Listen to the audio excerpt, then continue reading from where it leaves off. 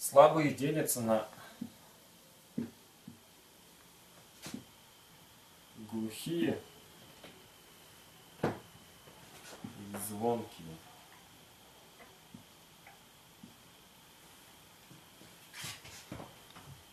К глухим относятся буквы К,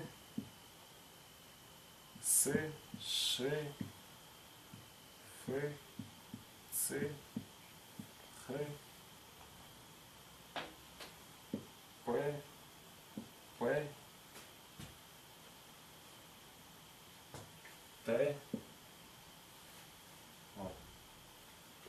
К звонким относятся Г, З, Ж, В, Б,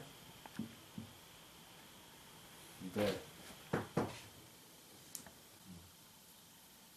То есть э, глухие это те буквы, при которых голос не участвует, которые образуются без участия голоса, только воздушным потоком. К, С, Ш, Ф, Х, Ц, П, Т. А звонкие, помимо воздушного потока, шума, участвует голос. Г, З, Ж, В, Б. Вот.